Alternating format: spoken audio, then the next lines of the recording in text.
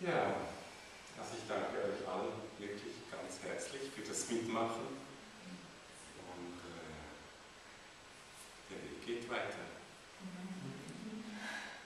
Es ist um 11.30 Uhr in Efte das Forellenquintett, wo ich drei Lieder singen darf, wer Lust hat zu kommen. Ich weiß nicht, wie weit es ist.